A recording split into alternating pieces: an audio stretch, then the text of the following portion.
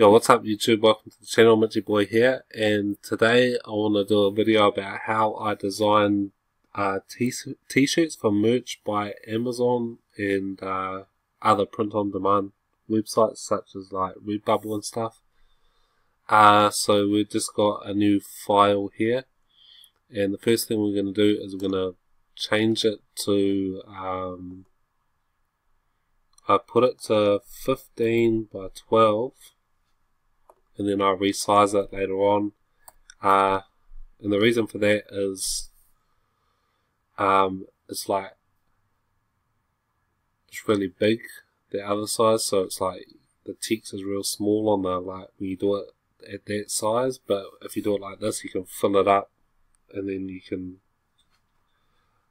um, just make the complete file bigger uh, so yeah that is like the same dimensions when you resize it. It's a 4500 by 5400 um, and 300 resolution. It's the same sort of dimensions. So yeah, that's the first thing we're going to do. Then magic wand, click that and get rid of the get rid of that. So it's a transparent background. So just press delete when it's highlighted. And then um, start by adding some text. To change that to white as our primary color. Some text. And then select the font. Uh, we'll go with impact. I like impact. So impact change the size to 216 I think. Support. And then move it around if you need to center it. Uh, and then I like to add another layer because when you just do a space press enter there's like a huge gap in between lines.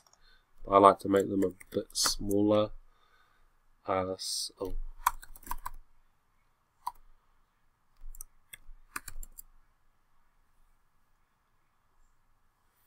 I'm going to put that image in here so it all kind of sits together nicely. The all depends like the size of the like words and stuff you're using, how you like put it together. Uh,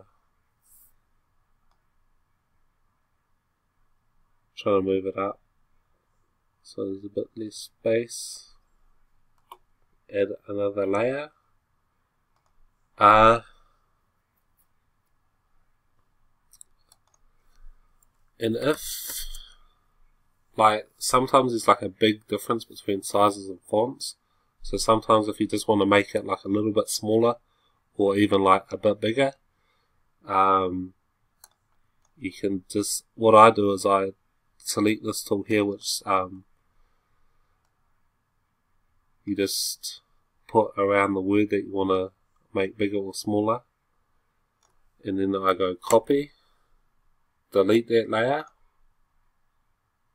add a new layer, paste it in, and then you should be able to adjust it. So pull that in a bit. I just want to make it like the same size as this word here. So it's all like, you know, it doesn't look funny. It looks a bit funny when you've got like one word that's like way bigger than the other, even though it's not way bigger, but you know what I mean. Uh, and then for the last one, deselect that because if we if we have that selected, then nothing will come up when we type a new word. So deselect that. Gonna add some more text. Also, this um, put in chef. Also, like I said before, you can do that select uh, rectangle select tool go around it. And this time because we want to make it even bigger than like the largest font size so that's another way to do this. Copy delete the layer put another layer in paste and then stretch it out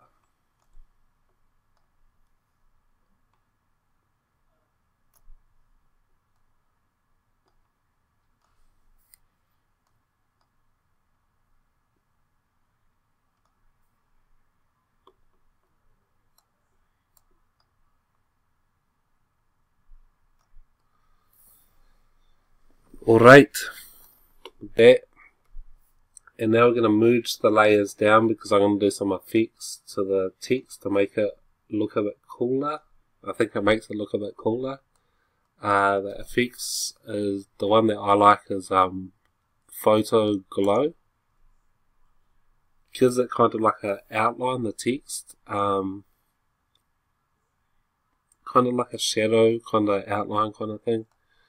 Uh, bring the brightness. You can play around with it a bit if you want to see what you like. I bring the brightness down and then increase the radius. And um, press OK. You can see it's given it like a little outline. Uh, I normally go through and do it. Uh, let me see a couple of times. Repeat the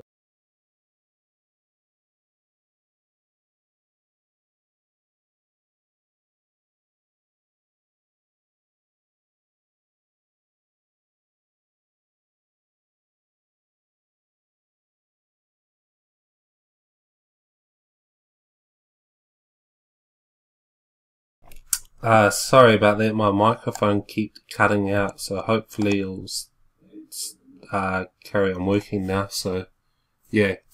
But like I said before, uh, this effect that I like to do to the text is come to effects, uh, photo. Also, you have to have it all on one layer. That's why I merge the layers down, or else it will just do the effect to like one layer, uh, whatever layer you have selected. So we go do this glow, photo glow and I like to do it like three or four times just gives it a nice kind of outline shadow as you can see.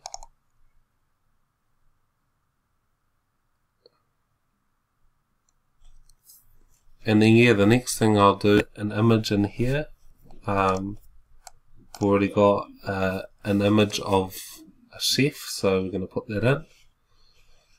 Do do do do clip art uh, it's probably in my download section actually.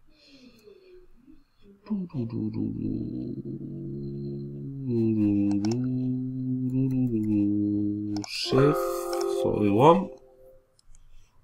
May have to resize it. Chef, select all, Control A, Control C to copy it. We've got a new layer. I'm going to paste it in and then shrink it down so we can fit it.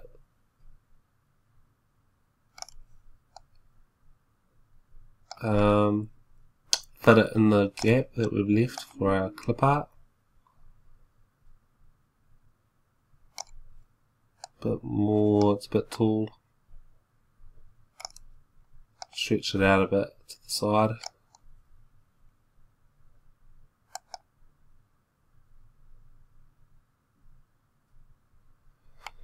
And there you have it. One merch by Amazon t-shirt designed. Um, what other things can I show you guys? Uh, another thing I like to do is like add, um, add like, you can add like, um,